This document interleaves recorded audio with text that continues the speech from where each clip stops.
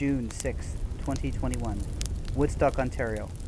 Marwood International has a fire that makes smoke that can be seen kilometers away.